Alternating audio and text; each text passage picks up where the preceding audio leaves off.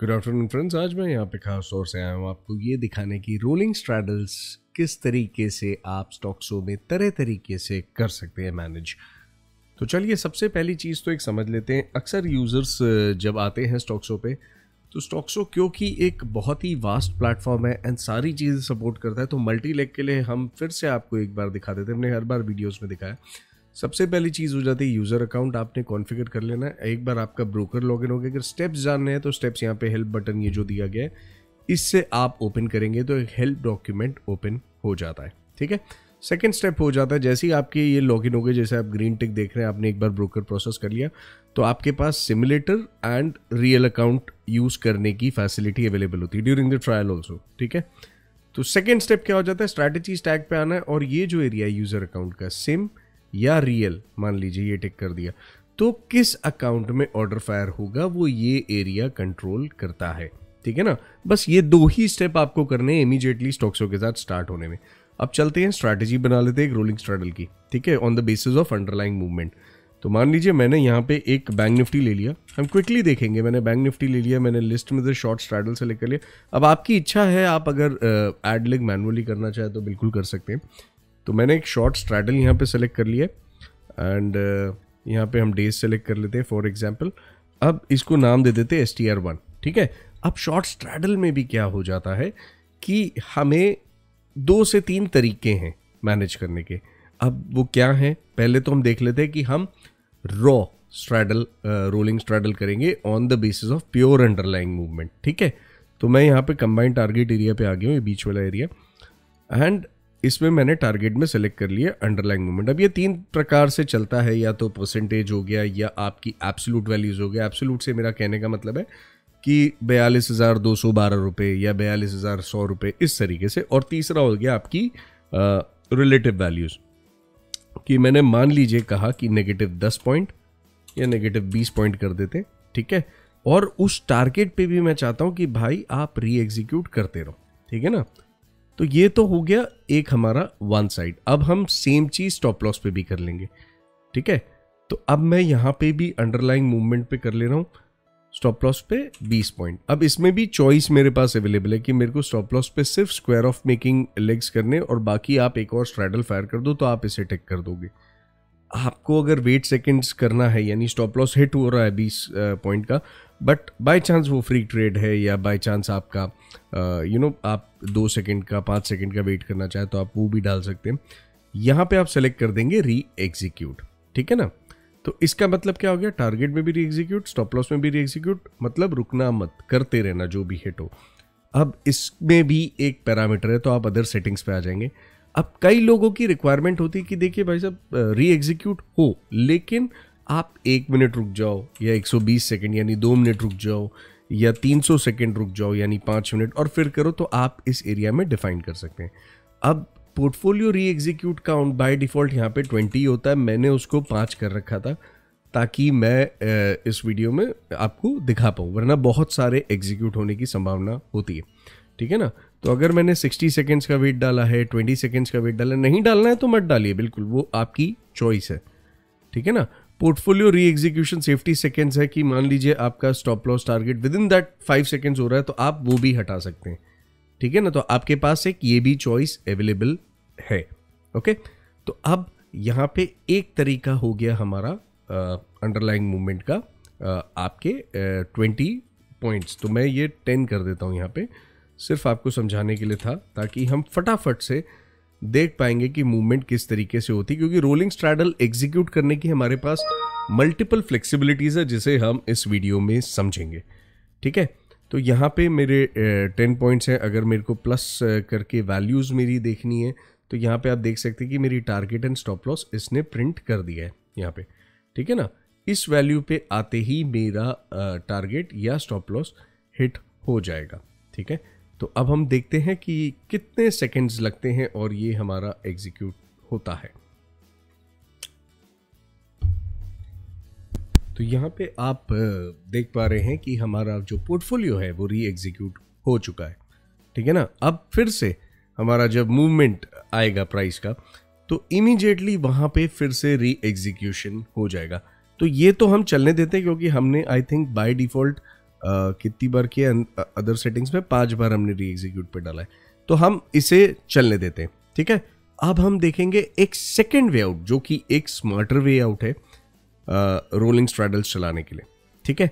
तो let's begin with that मैं फिर से आ जाता हूँ एड पोर्टफोलियो पे एंड अब की बार मैं निफ्टी ले लेता हूँ, है ना? तो थोड़ा सा एक चेंज हो जाएगा। तो चलिए यहाँ पे एक शॉर्ट स्ट्रैडल हमने ले लिया। अभी तक आपने देखा था तो बड़ा सिंपल है यहाँ पे। मैंने मान लीजिए इसको निफ वन लगा नाम दे दिया। And again in monitoring other settings में अगर मुझे डिले डालना है या पोर्टफोलियो अकाउंट्स तो मैं बिल्कुल चेंज कर सकता हूँ।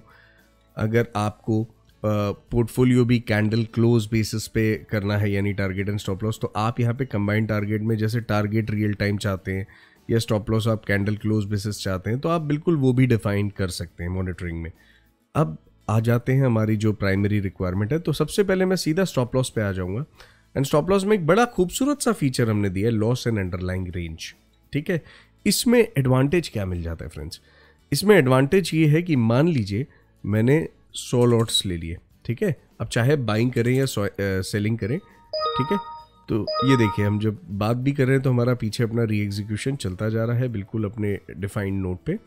तो यहाँ पे ये लॉस एंड अंडरलाइंग रेंज मैंने सेलेक्ट कर लिया। अब इसमें मेरे को एक वैल्यू मिल जाती है एक्स्ट्रा कंबाइंड लॉस कि मैंने कहा, भाई, एक ओवरऑल सेफ्टी पैरामीटर दस हज़ार रुपये का मैंने डाल दिया।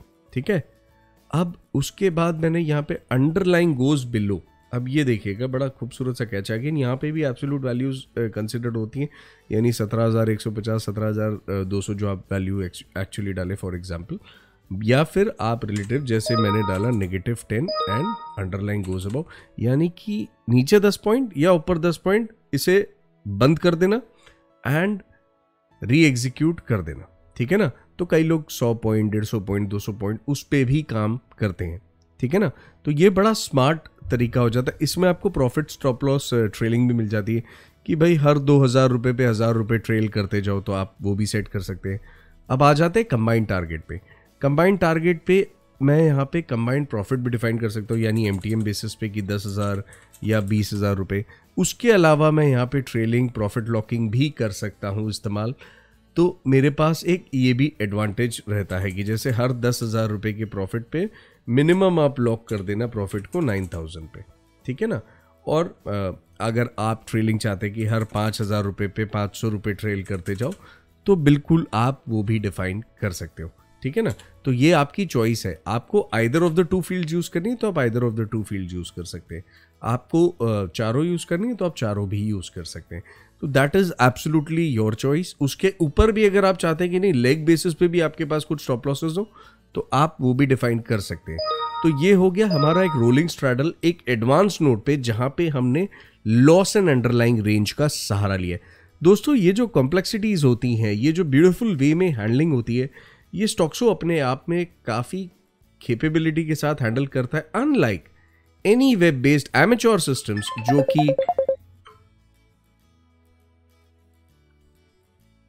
तो जैसा कि आपने देखा कि यहाँ पे हमने अभी बड़े खूबसूरती से एक लॉस एंड अंडरलाइंग रेंज के फीचर को कवर अप किया है और अब हम इसे सेव करके फायर कर देते ठीक है ना? तो ये निफ वन मेरा फायर हो गया। अब ये पीछे इतने सारे पॉपअप्स इसलिए हैं बिकॉज़ वो स्लाइसिंग भी कर रहा है क्योंकि हमने स्लॉ लॉट का ऑर्डर फायर किया है। तो आप ये देखिए, ये S T R one racks five आ गया, यानी कि ये लास्ट है इस पड़ाव का क्योंकि हमने पाँच बार पोर्टफोलियो री एग्जीक्यूट काउंट दिया था बैंक निफ्टी को। बट अभी हमारा निफ वन अभी तक चल रहा है दस पॉइंट के मूवमेंट पे। कहीं ना कहीं वो वेट कर रहा है कि हमें नेगेटिव या प्लस साइड ठीक है? मैं फिर से आपको दिखा देता हूँ। यहाँ पे स्टॉप लॉस में हमने नेगेटिव टेन और टेन यहाँ पे डाला। अगर आपकी डेढ़ सौ है, दो सौ है रिक्वायरमेंट तो आप negative two hundred and two hundred ये बड़ा ही स्मार्ट फीचर है आपके रोलिंग स्ट्रैडल्स को मैनेज करने के लिए। ठीक है ना? ये आपको काफ़ी ज़्यादा ईज दे देता है कि आपके स्ट्रैडल्स यहाँ पे अपने आप एग्जीक्यूट होते रहेंगे या आपकी कोई भी मल्टी स्ट्रैटेजी होने दीजिए। आपने अप टू एट लेग्स की कोई स्ट्रैटेजी बना रखी है। भाई, आप एंटिसिपेट कर रहे हैं। It is not just about rolling straddles ठीक है ना? लॉस एंड अंडरलाइंग रेंज का एडवांटेज क्या है? कि मान लीजिए मैंने एक पोर्टफोलियो बना लिया अप टू एट लेग्स का यू नो मैं मैं थोड़ा बेरिश हूँ मूवमेंट में या बुलिश हूँ या मेरा हेड्स पोर्टफोलियो है। बट मैं चाहता हूँ कि ये ख़त्म हो जाएगा, उस loss and underlying range breach होती है। यानी निफ्टी या बैंक निफ्टी के इतने पॉइंट्स के बाद मेरे लिए वो बेकार है, या उतने पॉइंट्स अचीव होने के बाद वो बेकार है। तो either side you know whether it's loss और प्रॉफिट तो ये दोनों ही चीज़ें अगर आपकी कैलकुलेटेड है तो लॉस एंड अंडरलाइंग रेंज आपको बहुत जगह पे फ़ायदा देता है। अब बारी आ जाती है, हम एक और पोर्टफोलियो बनाएँगे। यहाँ पे हम एक खूबसूरत सा एग्ज़ाम्पल ले लेंगे। हम फिर से अब चले जाते हैं बैंक निफ्टी पे, ठीक है? और अब की बार मैं यहाँ पे एक प्रीमियम बेस तो मैंने इस टिक बॉक्स को टिक किया। Sell C E sell P E किया। चलिए अब की बार बाइंग कर लेते हैं, ठीक है? और मैंने यहाँ पे दो लेग ले लिए, मान लीजिए नियरेस्ट प्रीमियम पे बीस रुपये पे एंड डेप्थ मैंने कर दिए थर्टी ठीक है ना? तो जो भी नियरेस्ट होगा बीस के आसपास का पहला, वो ये पिक कर लेगा, ठीक है?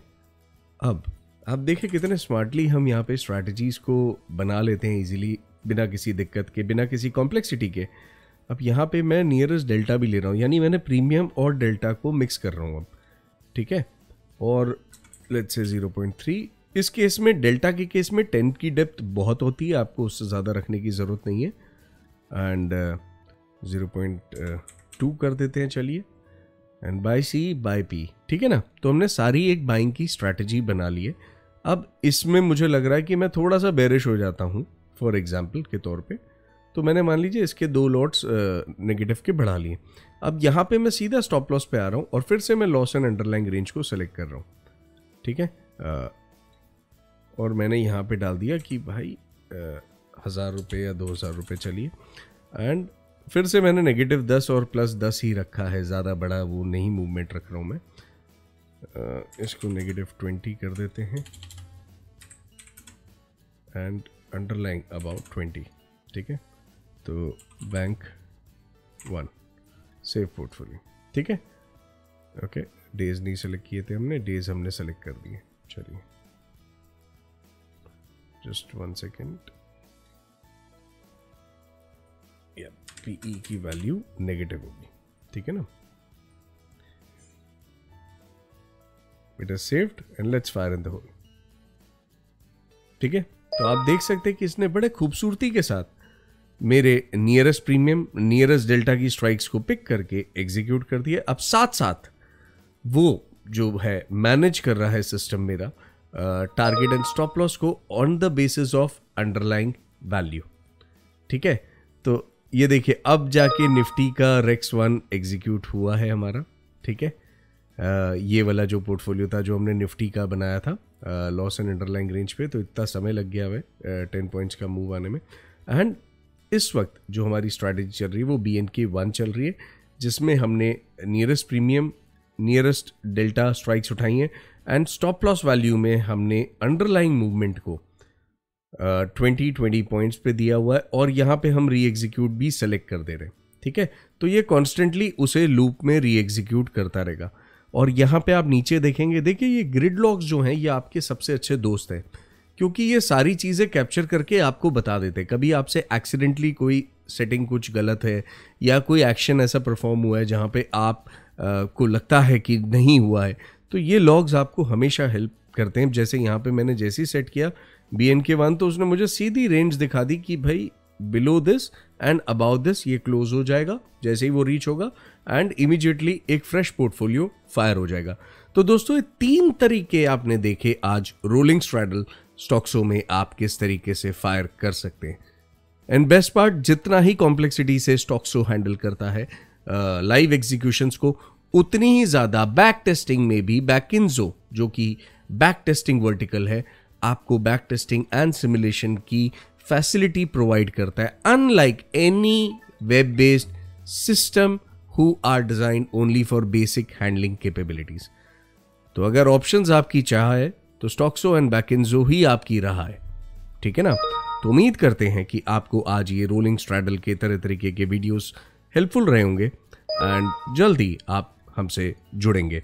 तो thank you friends thank you for watching regular updates channel पे ही आते हैं तो आप यहाँ पे सब्सक्राइब रहें एंड एन्जॉय थैंक यू